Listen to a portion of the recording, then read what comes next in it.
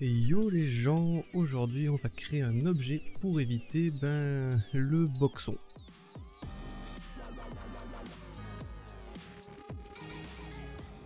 Alors l'objet qu'on va créer aujourd'hui, c'est un objet qui va me servir à ranger en fait des pots de peinture que j'ai euh, que j'ai acheté pour les pour faire des peintures sur figurines en fait. Donc c'est des pots qui se présentent euh, comme, ça, en fait ça c'est des petits, des petits flacons que j'ai achetés vides.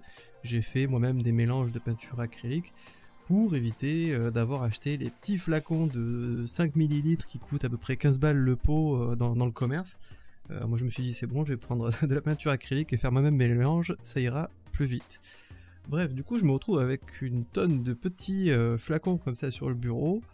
Donc euh, je me suis dit que ça serait pas mal d'essayer de trouver un objet pour pouvoir euh, faire une sorte de présentoir en fait et que ce soit plutôt simple euh, pour pouvoir chercher mes couleurs, les voir du premier coup d'œil et aussi éventuellement pourquoi pas transporter en fait si jamais j'ai envie de transporter mes couleurs.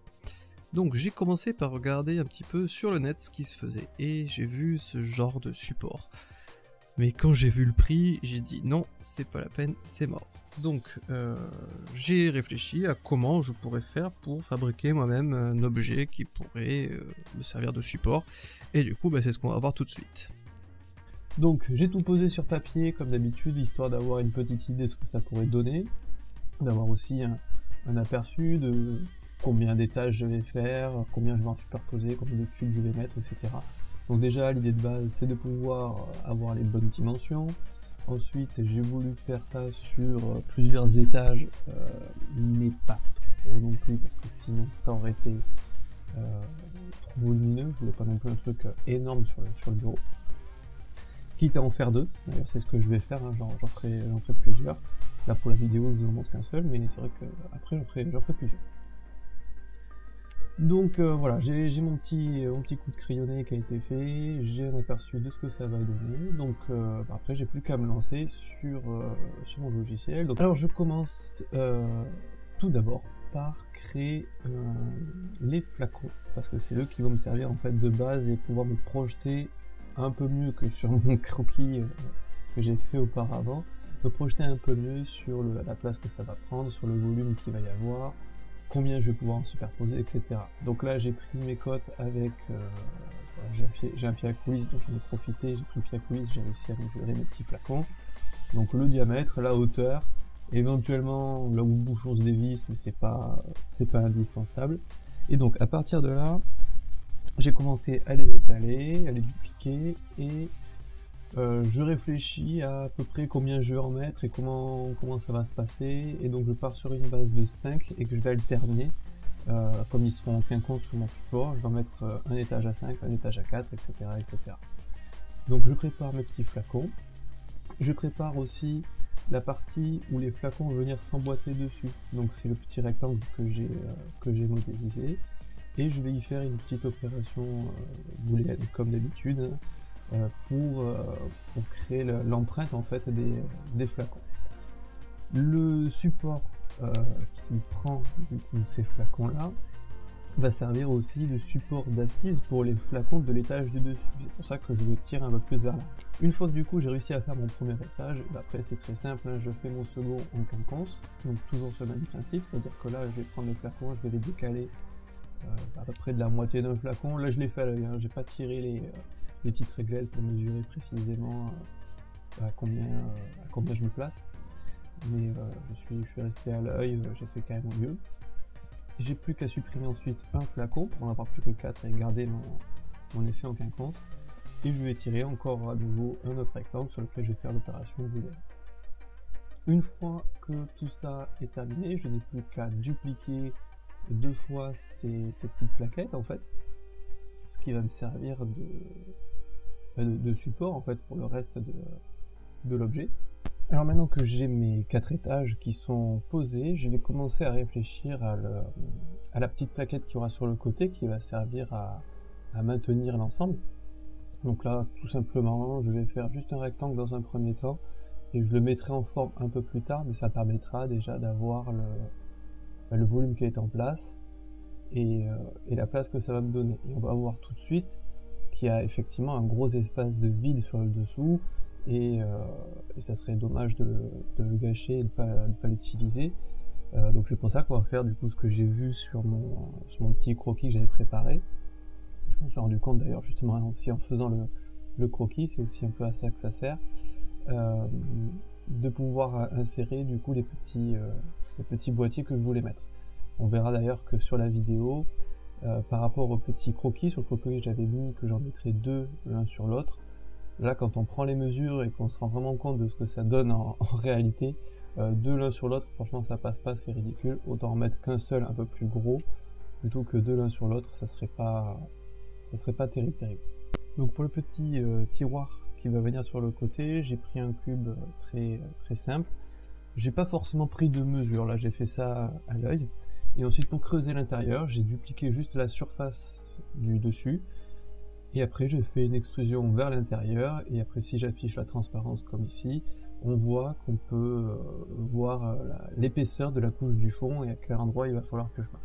Rapidement, je me rends compte que pour ces petits tiroirs, il va falloir que je fasse quelque chose pour éviter que ça se balade un petit peu dans tous les sens. Donc je vais euh, essayer de modéliser un espèce de, petit rail en fait, hein, qui va servir à, guider euh, les tiroirs pour éviter que ça se barre un peu dans tous les sens. Donc pour faire ce petit rail, j'ai pris une surface et je fais des subdivisions en fait sur les côtés pour pouvoir extruder ensuite bah, deux petits côtés et je vais faire une rotation parce que là je l'avais fait à l'envers, je sais même pas pourquoi, mais bon voilà. Je remets ça à l'endroit et, euh, j'ai plus qu'à le placer correctement, revoir vite fait un petit peu les, dimensions pour que ça puisse euh, se calquer à la taille de mon, de mon tiroir et c'est ce qui fera mon rail. Un peu plus tard, je vais ajouter une butée aussi sur le fond pour éviter bah, que si je pousse trop fort mon, tiroir, euh, il se casse la gueule à l'intérieur et que ce soit un peu plus chiant pour le récupérer. Donc je vais juste rajouter après une petite butée pour éviter ce genre de, soucis. Alors petit détail, mais c'est vrai que c'est quand même important, hein, sur le petit tiroir, euh, il va bien falloir trouver une façon pratique de pouvoir le tirer. Donc je vais juste faire une petite découpe sur le, sur le dessus. Euh, pour ça, je vais faire une opération booléenne. J'utilise un cylindre que je vais placer plus ou moins au milieu. Encore une fois, je sors pas les règles, j'ai pas envie d'y aller au millimètre. J'étais un peu, un peu. Puis là, c'est vrai que c'est un objet qui est pour moi, donc j'avais pas forcément envie d'y aller euh, vraiment dans la précision. Je pense que l'œil suffit largement pour ce genre d'opération. Et donc je place mon, mon, cylindre plus ou moins au milieu, je fais l'opération booléenne et ça me fait donc la découpe pour pouvoir tirer mon tiroir un peu plus facilement euh, avec, avec le doigt sans avoir à modéliser une poignée ou je ne sais quoi d'autre. Voilà, juste une découpe comme ça suffira largement. Je reviens ensuite sur ma plaque de côté qui servira donc à maintenir mon ensemble. Donc euh, moi j'avais pas envie d'avoir une grosse plaque rectangulaire, je voulais faire suivre un petit peu la forme, c'est quand même plus esthétique. Donc pour ça je vais dupliquer ma, plaque de base qui m'a servi déjà de gabarit pour avoir la dimension. Je vais calquer un petit peu dessus pour avoir les, tailles. Je la duplique et je rajoute les subdivisions. Je vais rajouter autant de subdivisions puisqu'il y a des étages en fait et ça va me permettre de pouvoir construire une sorte d'escalier en fait tout simplement. Donc je commence de la base puisque c'est là où il y aura la plus grande largeur et euh, à chaque fois euh, sous forme de marche d'escalier en fait hein, tout simplement je vais faire monter mon, ma plaque de, côté en faisant juste des extrusions. Alors je vais pas mettre pile poil à ras hein, vous voyez du, support. Je vais laisser quand même un petit espace au dessus je trouve ça plus sympa. Euh, et aussi je vais utiliser donc là moi c'est toujours sur, sur Maya quelque chose qui est pas mal pour avoir des, des mesures. Alors ça pourrait je pourrais très bien utiliser la grille euh, et, du coup utiliser l'espèce de, magnétisme en fait sur la grille pour y aller point par point. Là j'ai préféré y aller euh, étape par étape, c'est-à-dire que c'est une petite option qu'on peut cocher pour dire que tous les déplacements que je vais faire vont y aller par cran de unité, de 1 ou 1,5 ou 2. Et ça moi ça correspond à des millimètres. Et ça me permet du coup d'avoir, euh, à chaque fois que je me déplace, vous voyez les petits crans, d'avoir toujours la même taille et le même écart en fait entre, entre chaque palier. Donc c'est une situation, je m'en sers pas souvent, mais c'est vrai que quand on a besoin de faire des pièces un peu techniques comme ça, ou avoir des, repères assez réguliers, sans s'embêter et aller afficher la grille qui sera pas forcément pile poil à l'endroit où on veut, bah, cette option-là, elle est plutôt pratique puisque ça permet d'y aller voilà, par, par cran. Je réajuste ensuite mes petites marches d'escalier pour que tout s'aligne à peu près correctement. Et après, euh, je vais attaquer l'extrusion sur le côté de mon, de mon bloc pour, euh, bah, pour préparer l'emplacement de mon, de mon casier.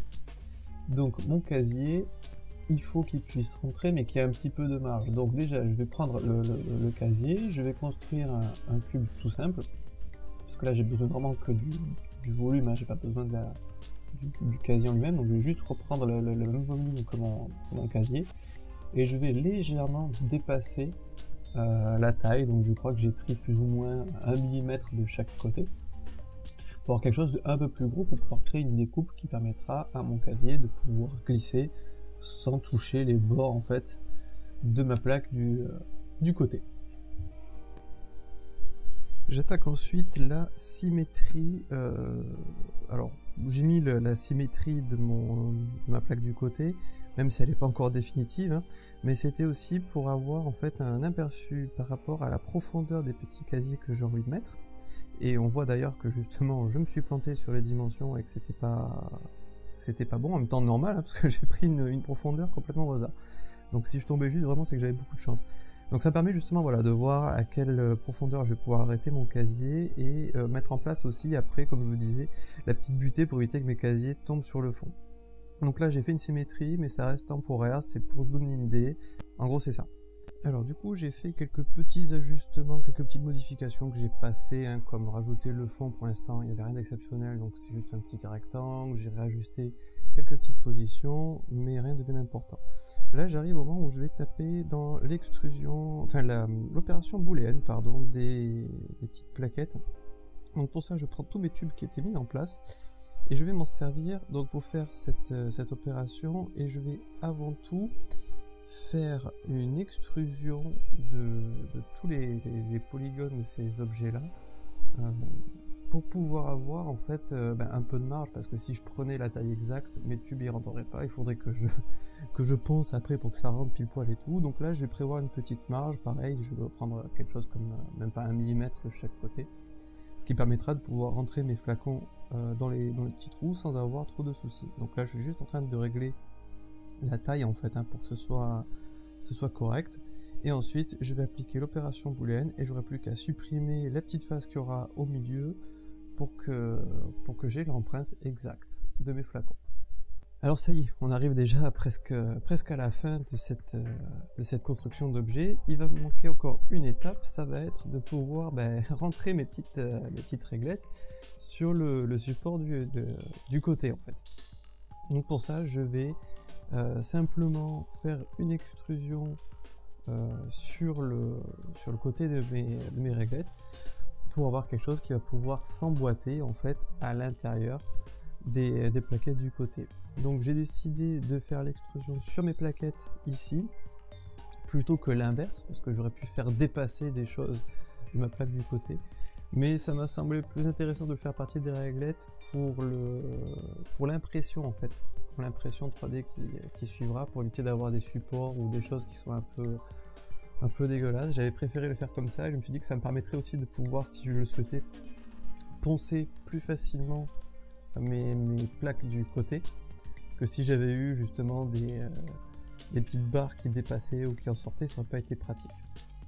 Donc j'ai préféré du coup voilà le faire euh, sur ces réglettes. Donc j'ai préparé euh, en fait mes réglettes, je les ai divisées en fait en deux. J'ai rajouté une, une sur le, sur le milieu donc elle est vraiment plus poil au milieu là, avec l'outil euh, pour, pour ajouter l'extrusion. Et ensuite j'ai plus qu'à sélectionner les, faces en fait et de faire l'extrusion de la face que j'ai besoin de quelques millimètres. Donc pour ça j'ai pris mon outil qui me permet d'avancer pas à pas et je crois que j'ai dû faire sortir ça de 5 mm, quelque chose comme ça, histoire de m'assurer un bon, bon appui. Donc ça pour chaque euh, plaquette et ensuite bah, je vais utiliser cette empreinte là pour faire une opération booléenne, mais sur mes, sur mes plaques du côté, tout simplement. Et du coup, on sera pas loin d'être sur la fin de l'objet. Alors après, il va y avoir encore quelques petits détails hein, que je vais pas euh, forcément vous montrer. C'est des petits ajustements. Hein. En gros, voilà, c'est chercher le, le, bon raccord, euh, chercher la bonne taille, la bonne dimension. Il y aura une petite chose que je vais rajouter et qu'on voit pas forcément sur la, sur la vidéo, c'est la préparation des supports en fait pour pouvoir mettre des, euh, pinceaux bêtement, je me suis dit que ça pourrait être intéressant quand même d'avoir des pinceaux qu'on pourrait ranger directement sur ce support là. Donc euh, bah, je vais juste préparer des tubes où j'aurai mesuré les diamètres et que je vais mettre en place. D'ailleurs sur la première version que j'aurai imprimée, on verra ça sur l'autre partie de la prochaine vidéo sur ce sujet qui viendra. Euh, on verra que je me suis planté sur les dimensions et que les trous sont vraiment trop petits et qu'un pinceau ne rentre pas dedans. Et ça ben c'est les joies de fabrication d'objets. Euh, c'est jamais bon du premier coup. On a beau essayer de préparer tout comme on veut. Il y a forcément des erreurs à des endroits. Il faudra bidouiller pour y arriver.